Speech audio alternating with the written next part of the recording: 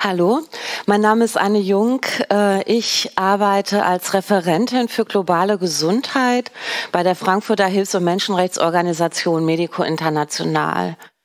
Und ich werde heute darüber sprechen, wie die Politik und die Pharmaunternehmen den gerechten Zugang zum Coronavirus-Impfstoff verhindern.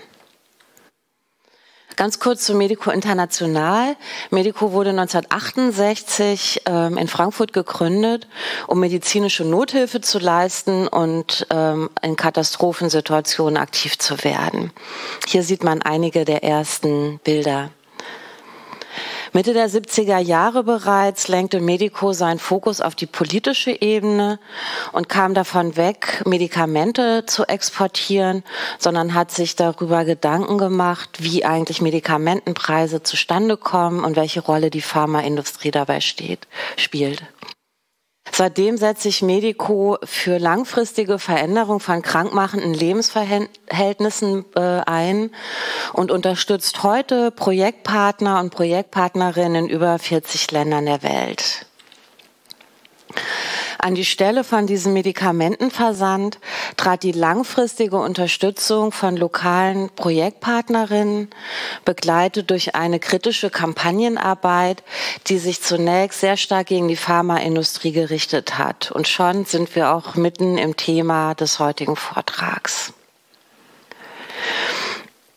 Die Erleichterung über die Erfolgsmeldung bei der Impfstoffentwicklung dürfte an der Frankfurter Börse und auch in der Bevölkerung äh, der Industrienation weitaus größer gewesen sein als beispielsweise in den Armenvierteln von Dhaka oder Nairobi. Hier sieht man ein paar Bilder äh, auf dem ersten sind äthiopische Arbeiterinnen, die in Beirut als Hausangestellte arbeiten und seit der ähm, großen Explosion auf der Straße sitzen, auf ihre Rückkehr nach Hause warten und dem Virus sehr ungeschützt ausgesetzt sind. Hier ein Eindruck von Nairobi aus dem armen Viertel der kenianischen Hauptstadt. Viele dort, das ist ebenfalls ein Bild aus Nairobi, sind sogar zu arm, um sich ähm, gute Masken zu kaufen. Und hier ein Bild aus Moria, dem Flüchtlingslager auf den griechischen Inseln, auf Lesbos, ähm, die nicht nur seit dem Brand, sondern auch schon davor dem Virus völlig ungeschützt ausgesetzt sind, weil die Gesundheitsversorgung unzureichend sind und die ganz bestimmt auch nicht die Ersten sein werden, die diesen Impfstoff bekommen werden.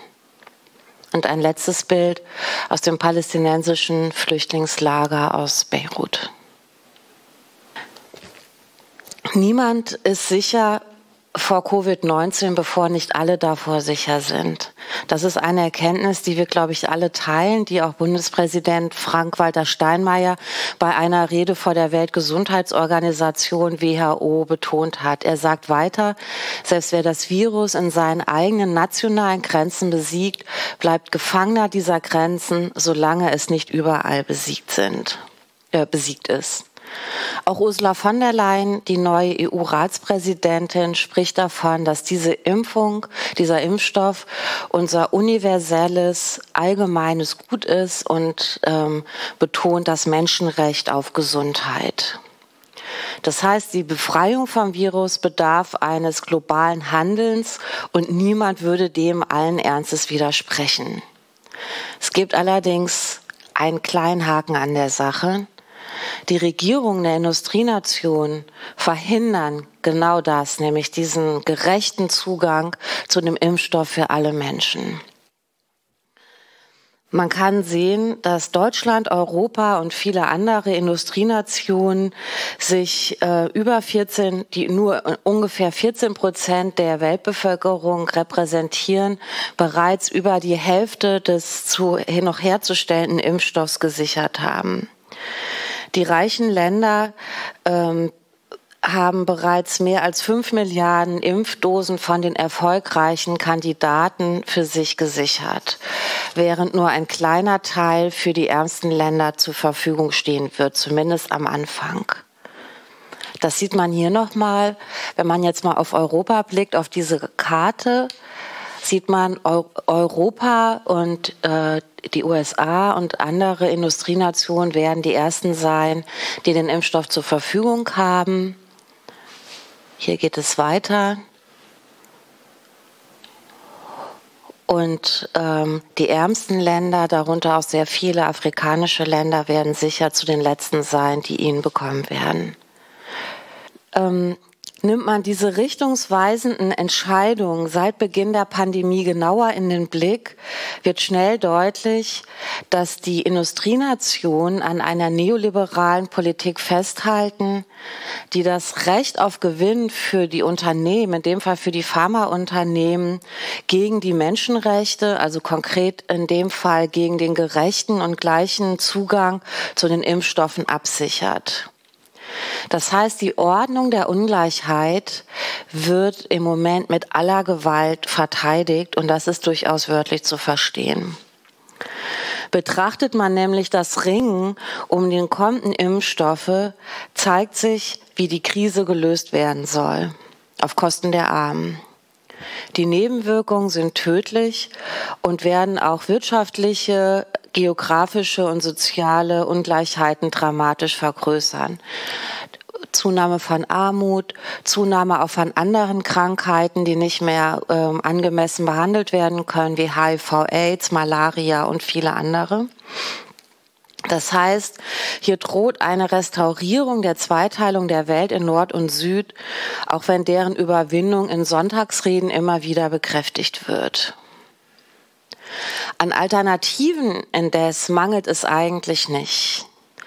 Vor einiger Zeit haben die Regierungen von Indien und von Südafrika gemeinsam bei der Welthandelsorganisation, nicht zu verwechseln mit der Weltgesundheitsorganisation, das eine ist die WTO, das andere ist die WHO, eine Ausnahmeregelung beantragt von dem sogenannten TRIPS-Abkommen, in dem Patente und handelsbezogene Aspekte des geistigen Eigentums geregelt werden. Die beiden Regierungen argumentierten, ich zitiere, wir brauchen eine grundlegende, eine umfassende Aussetzung der Patentregelung, bis die Weltbevölkerung eine Immunität gegen das Virus entwickelt hat.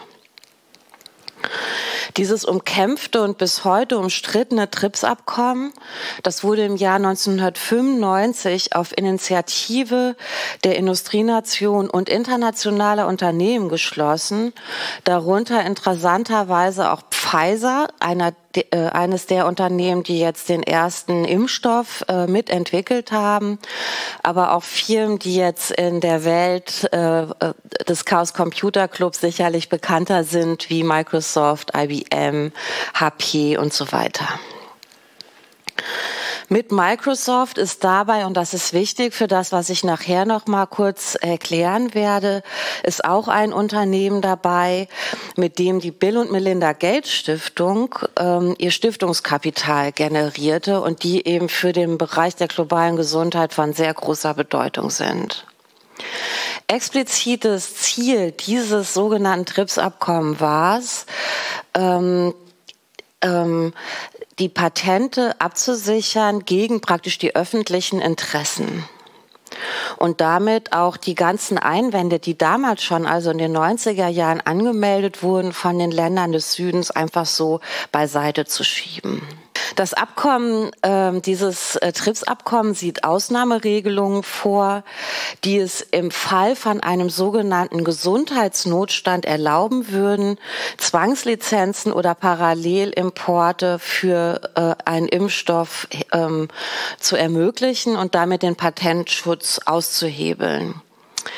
Dieser von Südafrika und Indien vorgeschlagene Waiver, also diese Ausnahmeregelung, das ist so eine Art Verzichtserklärung, ähm, benennt natürlich diese Ausnahmesituation, denn es ist klar, dass wir im Moment es natürlich mit einer gesundheitlichen Ausnahmesituation globalen Ausmaßes zu tun haben.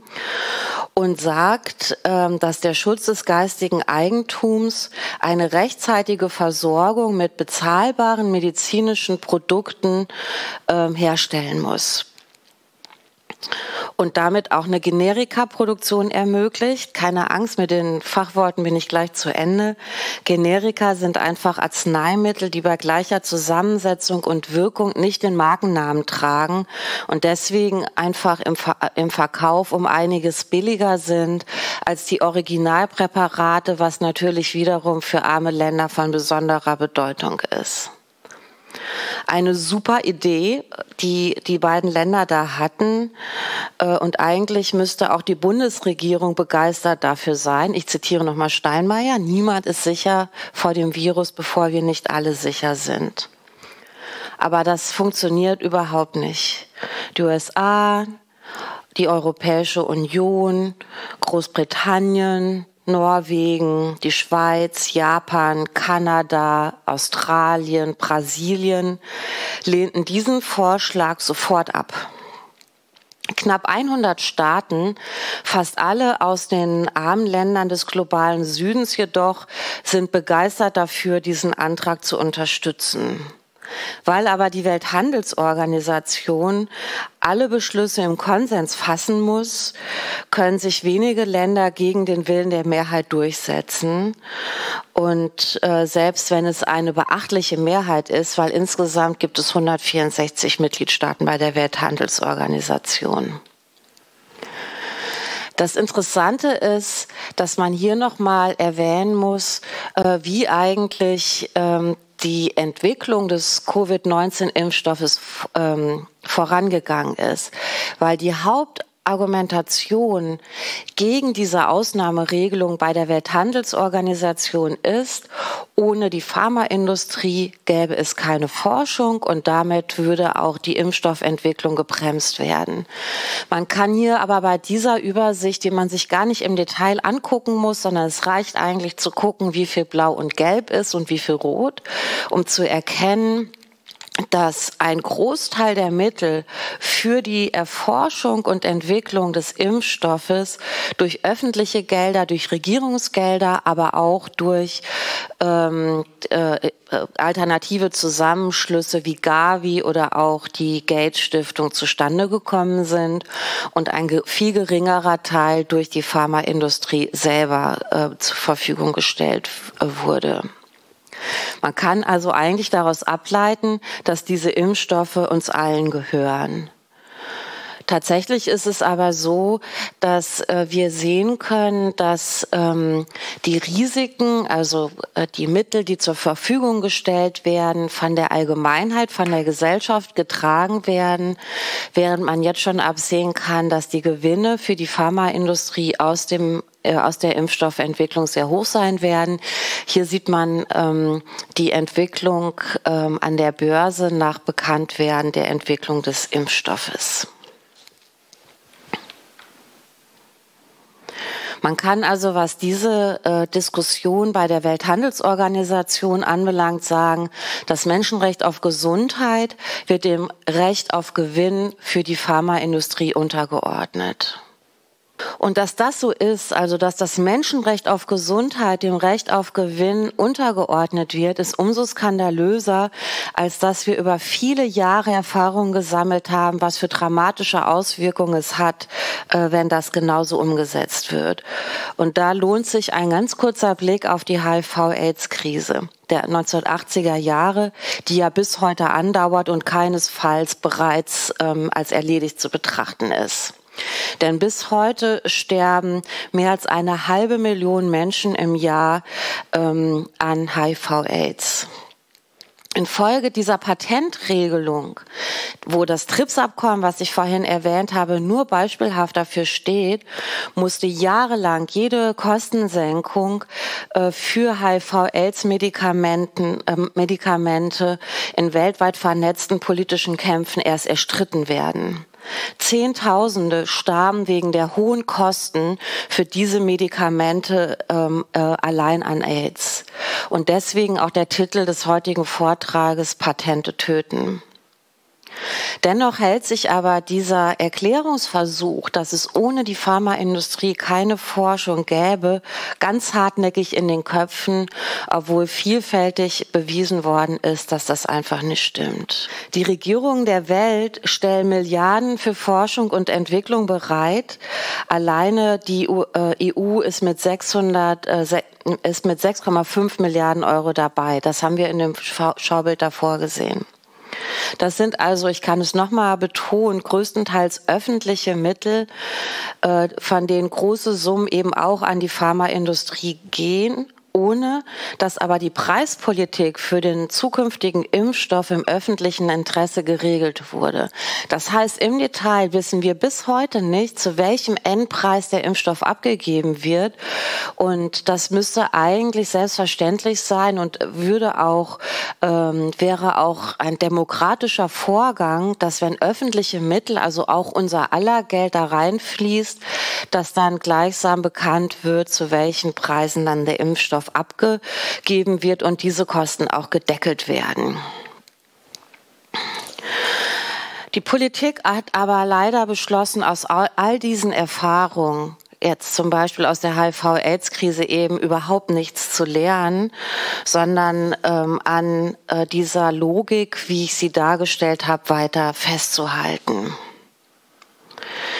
Der Handelsbeauftragte für den Schutz geistiger Eigentumsrechte sagte beispielsweise, dass diese Anreize für Innovation, die gesetzt werden durch den Patentschutz, eine rasche Lieferung von Impfstoffen und Therapien gewährleisten würden. Auch die EU sagte, es gäbe überhaupt keine Hinweise, dass Fragen des geistigen Eigentums bei Covid-19 bezogenen Medikamenten ein reales Hindernis darstellten. Dabei haben wir immer, dabei können wir jetzt schon eben sehen, wie ungerecht die globale Verteilung des Impfstoffes ablaufen wird. Es wird im Moment äh, weiter verhandelt bei, äh, bei der WTO. Im Januar findet die nächste Runde statt und es gilt natürlich zu hoffen und auch entsprechenden öffentlichen Druck auszuüben, dass ähm, die Industrienationen noch einschwenken und es dennoch jetzt gelingen wird, dass ähm, die, der Vorschlag von Südafrika und Indien sich durchsetzt.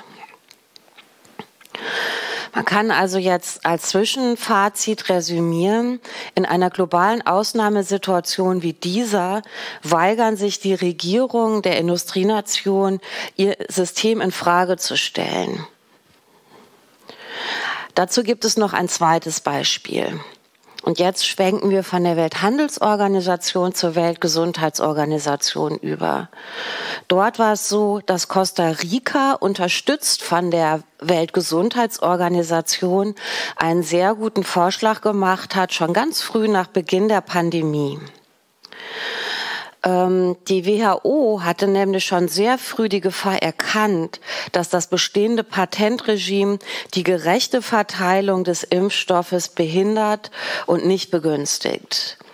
Aus diesem Grund kündigte sie auf die Initiative von Costa Rica die Gründung eines sogenannten Covid-19 Technology Access Pools, also das habe ich äh, kurz abgekürzt CTAP, an. Dieser CTAP sollte eingerichtet werden, um Patente und alle anderen Formen von geistigem Eigentum, Know-how, Daten, Geschäftsgeheimnisse, Software zu sammeln und den Technologietransfer zu unterstützen. Das ist ja was, was man eben auch aus der IT-Welt natürlich kennt und wo es ganz sinnvoll ist, wenn alle sich wiederum daraus bedienen können, um dann daraus weiter zu forschen und Sachen weiterzuentwickeln und besser zu machen. Die Schaffung von so einem Patentpool ist auch überhaupt nichts Neues und auch überhaupt nichts Revolutionäres. Das hat es zum Beispiel auch bei der Bekämpfung von HIV-Aids bereits gegeben, mit sehr guten Ergebnissen.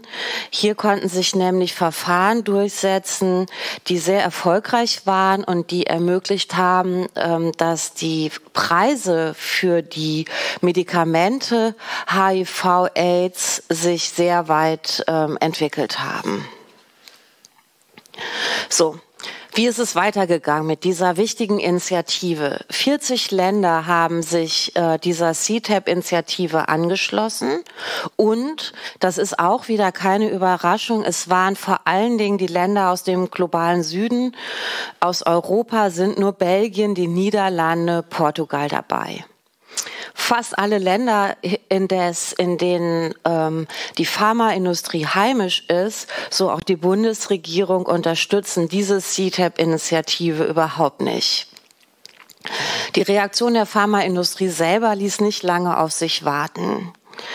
Das Pharmaunternehmen Pfizer beispielsweise hält den Vorschlag für gefährlich, wie es in der Presseerklärung heißt, für Unsinn.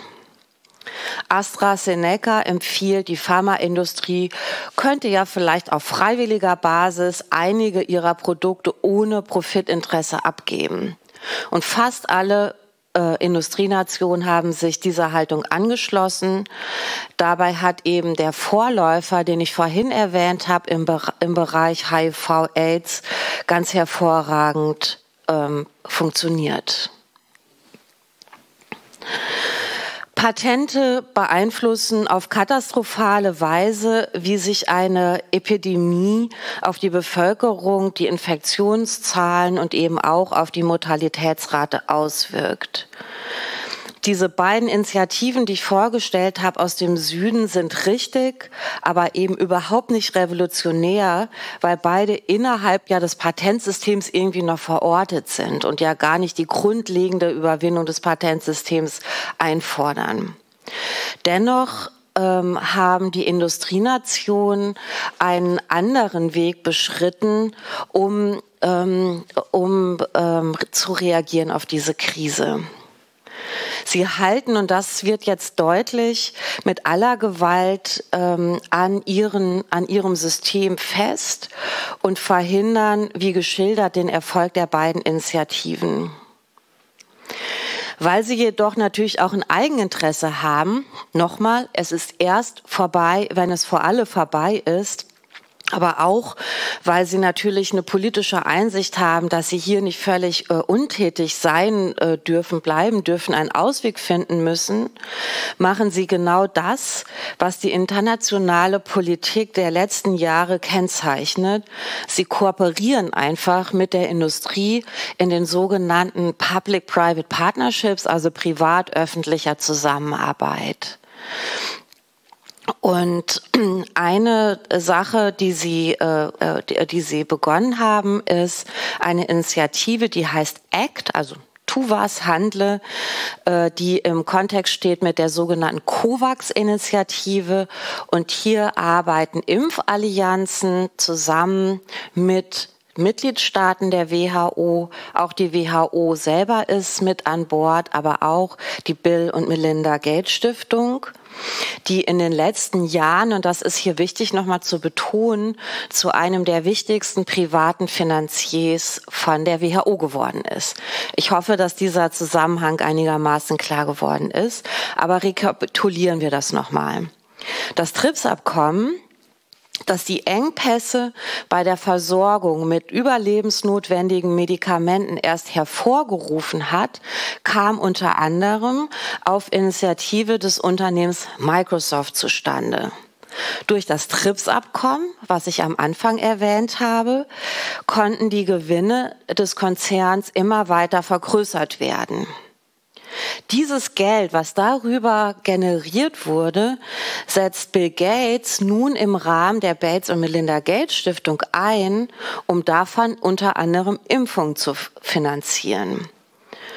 Und das Ganze zusammengenommen nennt man Philanthrokapitalismus. Die Geldstiftung ist also nicht die Ursache, wie viele auch Verschwörungstheoretiker behaupten, der Misere, sondern ein Symptom der Privatisierung der Weltgesundheit. Und deswegen ist es auch folgerichtig, dass bei dieser Lösung, der sich jetzt fast alle Industrienationen angeschlossen haben, die Patente unangetastet bleiben. Weil nämlich auch die Geldstiftung verhindern möchte, dass die Patente auf essentielle Arzneimittel einfach abgeschafft werden. Das bedeutet aber, dass ähm, diese neue Impfallianz äh, den privatwirtschaftlichen Akteuren einen Raum bietet, Wohltätigkeit zu entfalten. Es werden also sehr viel Mittel gesammelt. Das kann überhaupt nicht in Abrede gestellt werden. Aber die Frage der öffentlichen Güter und dass der Impfstoff ein Gemeingut sein müsste, bleibt dabei ausgeklammert.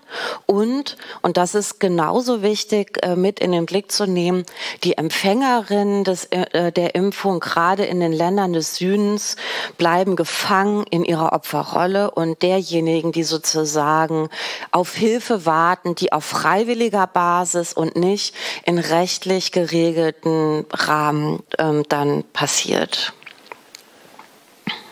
So. Wir haben also ganz gut äh, jetzt ähm, nachvollziehen können, dass die Patente Medikamente teuer machen. Und das spiegelt sich hier in unserem Slogan, Patente sind teuer, aber dafür ungerecht. Das ähm, diese Ungerechtigkeit bezieht sich natürlich nicht nur auf den Impfstoff. Hier sieht man beispielsweise eine Demonstration von Textilarbeiterinnen ähm, in Pakistan von einer pakistanischen Gewerkschaft organisiert, die eben äh, in sehr starke ökonomische Schwierigkeiten geraten sind, weil die bestellten Textilien nach dem Beginn der Pandemie gar nicht mehr abgeholt wurden. Es gibt aber auch das, das habe ich nur erwähnt, um den Blick nochmal zu weiten, dass natürlich diese ganze Frage gerade nicht nur eine Frage des Impfstoffes ist, sondern auf ganz viele andere Formen auch der kapitalistischen Produktionsweise anzuwenden ist, wo man die Auswirkungen der Pandemie eben genauso sehen kann. Und hier nochmal ein optimistisches Bild, wo eine Gruppe kubanischer Gesundheitsarbeiterinnen und Arbeiter aus Solidarität nach Südafrika gereist sind, um dort das Gesundheitssystem zu unterstützen.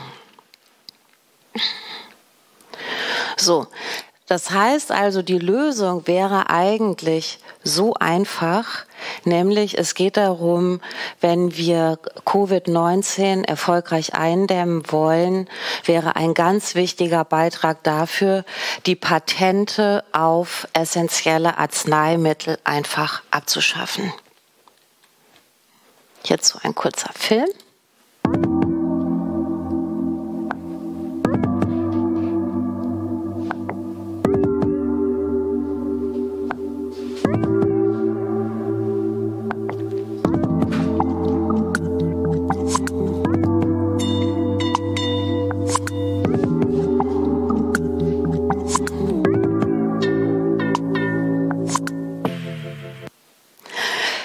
Komme also ähm, zum Schluss und zum Resümee von meinem Vortrag.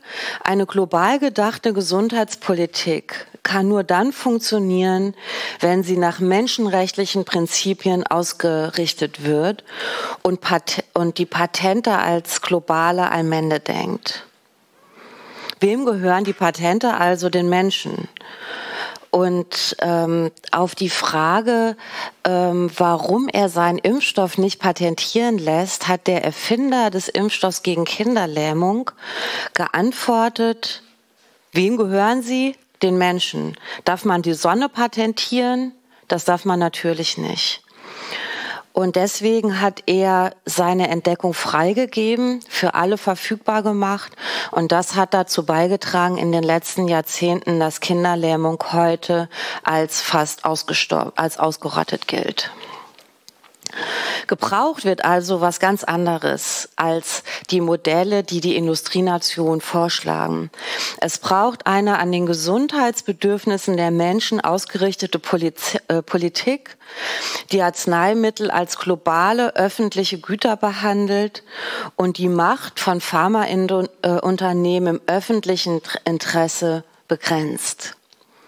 Hierfür sind die Entkopplung von Forschungskosten und Preis bei Medikamenten unbedingte Voraussetzungen, um neue Anreizmechanismen zu setzen, die Innovation fördern und dann auch für alle zugänglich machen. Dieses Prinzip in Frage zu stellen, heißt nichts anderes, als die Systemfrage zu stellen. Und das wird nicht von alleine äh, passieren. Und deswegen haben wir uns international zusammengeschlossen mit ganz äh, vielen Ländern, auch des globalen Südens, um den notwendigen politischen Druck aufzubauen. Und interessant ist eben, dass das, was äh, daran funktioniert im Moment, nämlich, dass wir niemals zuvor ein soziales Privileg, das wir haben werden, nämlich sehr früh einen Zugang zu haben zu den Impfstoffen, als ungerechter empfunden haben, obwohl wir uns natürlich auch in der Verzweiflung komplett daran klammern. Wir werden uns beim Impfen genauso unwohl fühlen wie zum Beispiel beim Tragen von billigen Jeans, die in Pakistan oder Bangladesch hergestellt worden sind. Und das ist genau der Preis unserer imperialen Lebensweise, mit der immer mehr Menschen sich nicht mehr abfinden wollen. Und deswegen bin ich sehr froh, dass ich im Rahmen von diesem Kongress das Thema besprechen konnte. Vielen Dank. Ja, Anne, vielen Dank für den spannenden Vortrag. Äh, wir haben auch schon die ein oder andere Frage aus dem Internet, aus dem Chat, aus dem RSC und aus dem Twitter zusammengesucht und würden da auch gleich in die QA starten. Alles klar. Und zwar die erste Frage aus dem Internet. Ähm, wie müsste denn die Impfstoffentwicklung ähm, weitergefasst sein und die medizinische Forschung organisiert werden, um gleichzeitig performant als auch performant als auch finanziert werden zu können? Okay. Hm. Ja, also die Frage der Finanzierung ist die, die uns immer wieder gestellt wird. Und das Interessante ist ja, ähm, dass die äh, Annahme, dass ohne Pharmaindustrie keine Forschung stattfinden würde, einfach ein Mythos ist.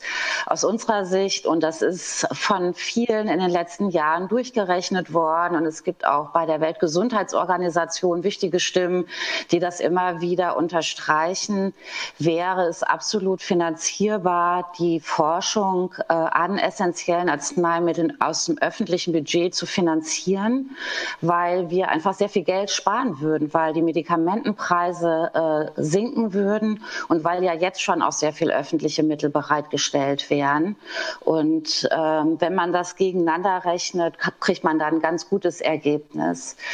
Dazu kommt ja auch, dass es ja nicht darum geht, jetzt die Pharmaindustrie zu enteignen. Das wäre sicherlich auch mal eine Überlegung wert, das in Angriff zu nehmen. Aber zunächst geht es ja darum, dass die Pharmaindustrie weiter auch durch den Vertrieb und die Produktion von Medikamenten Geld verdient. Die Forderung, die im Moment im Raum steht, ist ja vor allen Dingen die in den äh, Abgabepreisen zu deckeln. Danke. Äh, die Anschlussfrage dazu. Ähm, jetzt stellen die Regierungen öffentliche Mittel bereit für die Entwicklung. Ähm, müsse das dann nicht auch ein Allgemeingut sein?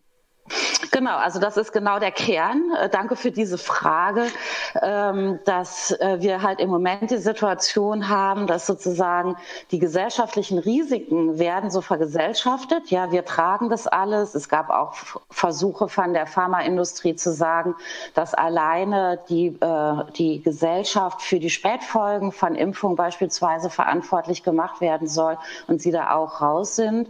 Und die Gewinne werden privatisiert. Und das gibt ein Missverhältnis, was einfach nicht in Ordnung ist.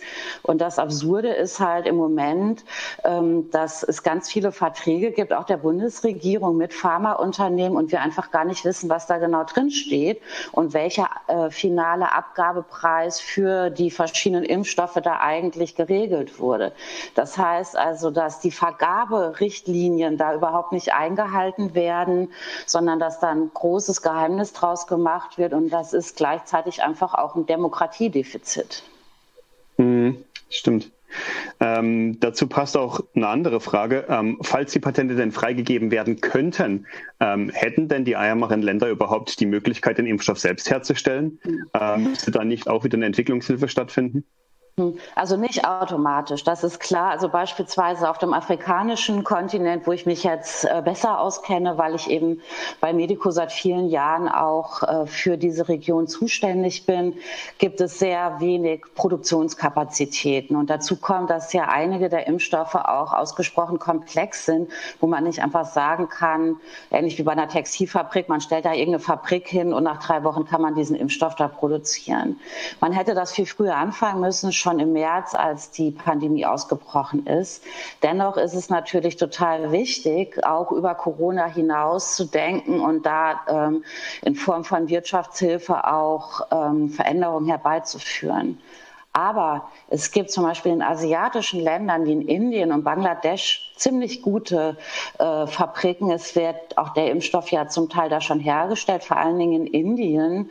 Ähm, dass äh, diese Produktion ist eher geschwächt worden, wiederum durch das rigide Patentmanagement. Wenn das nicht da wäre, wäre das für viele, auch ärmere Länder, jetzt schon möglich, auch komplexere Arzneimittel äh, selber zu produzieren. Ähm, Anschlussfrage dazu, beziehungsweise eine andere Frage, die hoffentlich nicht über das Thema hinausgeht. Ähm, wie hat es dann mit, sagen wir mal, äh, Produktionsengpässe in Indien und Co. zusammenzuhängen? Die Frage habe ich nicht genau verstanden. Äh, mit was für ähm, Produktionsengpässen? Ähm, Medikamentenproduktionsengpässe zum Beispiel. Hm. Naja, also was den Corona-Impfstoff anbelangt, ist es halt so, und das ist ja total interessant, jetzt gerade gestern nochmal auf äh, auch die Deu äh, Nachrichten in Deutschland zu gucken, dass ja jetzt schon ähm, auch BioNTech nicht in der Lage ist, äh, ausreichend schnell den Impfstoff herzustellen und nicht mal für den deutschen Bedarf. Deswegen wird jetzt überlegt, das nach Marburg und andere Orte auszulagern. Und hier hat plötzlich äh, jemand von der FDP, also bekannt wirklich als die Partei auch des ähm, äh, Neoliberalismus gesagt, man müsste jetzt über Lizenzen nachdenken. Das ist natürlich wirklich absolut unglaublich. Ja, jetzt seit Monaten fordert die Weltgesundheitsorganisation, fordern Hunderte von Ländern aus dem globalen Süden ein, dass es Zwangslizenzen gibt, dass ähm, sozusagen der, das Rezept des Impfstoffes ähm, auch weitergegeben wird, weil es wir es einfach mit einem Menschheitsproblem äh, zu tun haben, was unbedingt gelöst werden muss also mit einem globalen Problem. Und jetzt wird es in Deutschland eng und plötzlich äh, spricht man über so weitreichende Maßnahmen. Das zeigt gleichzeitig, auch wenn natürlich Christian Lindner nicht in der Regierungsverantwortung ist, das Kernproblem ist im Moment, dass es an einem politischen Willen fehlt. Die Rahmenbedingungen würden sie schaffen lassen, dafür kann man auch Mittel bereitstellen, aber es ist einfach so, dass man im Moment resümieren muss, dass die Industrienation es einfach nicht machen wollen. Mhm. Ähm, unsere nächste Frage ist, ist noch, äh, wie viele Unternehmen sind denn insgesamt an äh, Trips, Trips, beteiligt? Ähm, wie groß ist denn die Gewinn, der Gewinnzuwachs ungefähr? Hm. Also das ist nicht so, dass man sagen kann, dass nur die Unternehmen, die jetzt das äh, TRIPS-Abkommen bei der WTO in den 90er Jahren so gepusht haben, daran beteiligt sind, ja, sondern die Vorzüge für die Unternehmen gelten ja für alle Unternehmen. Es gab aber eben, und das fand ich interessant, eben nochmal anzugucken, auch jetzt für den Vortrag bei euch heute, eine kleine Gruppe von Unternehmen, die wirklich so eine Art Lobbyverband gegründet haben, nur mit dem äh, Ziel, eben ein besonders scharfes TRIPS-Abkommen hinzukriegen, das besonders strenge äh, Patentschutz ähm, vorsieht und eben den Schutz des sogenannten geistigen Eigentums vorantreibt. Und äh, in dieser Gruppe von Unternehmen, die das besonders gepusht haben, war eben das Pharmaunternehmen Pfizer auch dabei und auch Microsoft. Aber grundsätzlich ist es so, dass ähm, die Vorteile für Unternehmen und die Nachteile eben im Bereich der Mediment, äh, Medikamentenproduktion für die allgemeine Bevölkerung ähm, gleichermaßen gilt. Ähm, dazu noch eine andere Möglichkeit aus dem Chat. Ähm, jemand fragt, ähm, dürfte eine Firma gegen Patentzahlung, also ich glaube, da geht es um äh, Lizenzierungen von dem Patent, äh, nicht auch den Impfstoff herstellen? Dann wäre nicht das auch noch eine Möglichkeit? Ich glaube, da gehört dazu auch noch so eine, so eine Subventionsfrage. Hm. Also das wäre auf jeden Fall eine Möglichkeit. Das ist ja im Prinzip äh, geht das ja genau in die Richtung von dem, was die Weltgesundheitsorganisation auch vorschlägt, die ja auch keineswegs jetzt gerade dabei ist, den Sozialismus auszurufen, sondern einfach einen sehr pragmatischen, sehr klugen Vorschlag gemacht hat, wie möglichst schnell ein möglichst sicherer Impfstoff an möglichst viele Menschen gerecht in der Welt verteilt werden kann. Also eine völlig vernünftige Forderung, die da aufgestellt wurde. Und ähm, es ist aber so, dass dass eben diese Lizenzen können entweder freiwillig rausgerückt werden von den Pharmaunternehmen. Das passi passierte ja auch in der Vergangenheit die, äh, bei HIV-Aids-Medikamenten, aber auch bei ganz vielen anderen Medikamenten gab es eben diese Lizenzzahlung an das äh, Kernunternehmen oder das Unternehmen, das ursprünglich an der Entwicklung beteiligt war und dann wurde eben an anderen Orten auch produziert. Aber im Moment ist es so, dass die meisten Firmen das nicht wollen. Also AstraZeneca hat das gemacht, deswegen wird ja in Indien auch schon relativ viel Impfstoff produziert, aber viele andere Unternehmen verweigern das. Und die Politik hat eben auf ganz unterschiedlichen Ebenen die Möglichkeiten, da einzugreifen. Ja, das darf man nicht vergessen. Also es gibt immer so eine Vorstellung von der Übermacht der Industrie. Das ist ja gar nicht der Fall, sondern es gibt eben Ausnahmeregelungen sowohl beim TRIPS-Abkommen, es gibt die Möglichkeit auch über die WHO zu sagen, wir haben es mit einem globalen Gesundheitsnotstand zu tun. Da gibt es bestimmte Maßnahmen, die ergriffen werden können. Und selbst im Infektionsschutzgesetz in Deutschland sind solche Möglichkeiten vorgesehen. Und wenn man das alles sich genauer ansieht, was es an Optionen gäbe, kommt man immer wieder zu dem gleichen Schluss, nämlich dass ähm, die Politik in den Industrienationen einfach sehr bewusst die Entscheidung getroffen hat, dem Recht auf Gewinne für die Pharmaunternehmen eine Priorität einzuräumen, obwohl es einfach auch aus epidemiologischer Perspektive von Gerechtigkeit noch äh, ganz zu schweigen einfach überhaupt keinen Sinn macht. Hm. Ähm, dazu eigentlich auch passend die Frage, ob ärmere Länder nicht einfach das Patent ignorieren könnten. Jetzt nicht hm. unbedingt auf Corona bezogen, sondern ganz allgemein. Also ähm, es, also erstmal, es gab, es gibt zum Beispiel jetzt geregelt natürlich Ausnahmeregelungen in der Vergangenheit immer wieder für die allerärmsten Länder.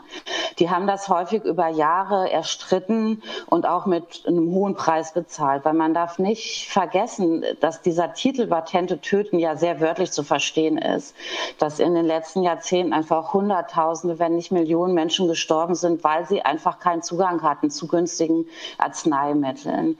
Und äh, es ist einfach so, dass ähm, die Gefahr für diese armen Länder sehr groß ist. Also e, erstmal ist es so bei dem Corona-Impfstoff, das können die gar nicht einfach so machen. Ja, wo sollen sie es herkriegen? Also man könnte aufrufen dazu, ähm, ähm, sozusagen das äh, in der Fabrik zu stehlen, ja, und ähm, ähm, äh, das dann einfach weiterzugeben, aber auch dann wäre das wahrscheinlich gar nicht so einfach möglich wenn Länder gesagt haben, wir müssen jetzt äh, Medikamente herstellen, das ist einfach im Gesundheitsinteresse unserer Bevölkerung absolut notwendig, ist es so, dass sie wahnsinnig unter Druck gesetzt wurden.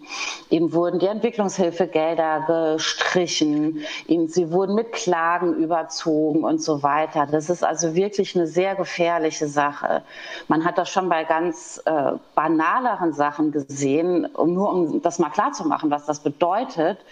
Ähm, in Mexiko zum Beispiel hat die Regierung irgendwann mal so einen besonders krassen Zucker verboten, der aus den USA importiert wurde, weil dort die Menschen so stark am Diabetes 2 erkrankt sind. Daraufhin hat dann unter Bezugnahme auf das Freihandelsabkommen NAFTA, das ist auch so ein Abkommen, das kennen vielleicht einige auch, ähm, die amerikanische Zuckerindustrie, die Regierung von Mexiko verklagt und die haben Millionen an Strafe bezahlen müssen, weil sie ein Gesetz verabschiedet haben, das die Gesundheit ihrer eigenen Bevölkerung schützt. Ja, so sind diese Abkommen gestrickt. Und das ist eben eine politische Entscheidung gewesen, die das möglich gemacht hat, dass sie so gestrickt sind. Und deswegen ist es halt total wichtig, dass in all diesen Verträgen immer äh, der, die Frage von Menschenrechten und jetzt bei dem Thema, was wir heute besprechen, dem Menschenrecht auf Gesundheit, die Priorität eingeräumt wird. Mhm. Ja, ich sehe gerade, an der Stelle uns, geht uns leider die Zeit aus. Ähm, Anne, ja. vielen Dank nochmal für den spannenden Vortrag, äh, für, ja, die Fragen. Für die wir Fragen. haben noch, äh, wir haben noch einige Fragen äh, übrig, ähm, haben dafür aber jetzt leider keine Zeit. Also Trotzdem gerne per E-Mail, ne? Oder ich, also ich bin, wir sind ja unter www.medico erreichbar. Äh, ihr könnt äh, die Fragen gerne uns per E-Mail schicken oder über andere Kanäle, dann können wir die noch beantworten. Oh, das ist super nett. Dann an der Stelle äh, an den Chat, an die Leute vor den Streams. Ihr könnt gerne über die Medico-Webseite Fragen nochmal an die andere Stelle. Und hier geht's weiter mit der Herald News Show. Ähm, ich wünsche euch noch einen angenehmen Tag. Habt noch viel Spaß im Rest Internet und äh, ciao und bis bald.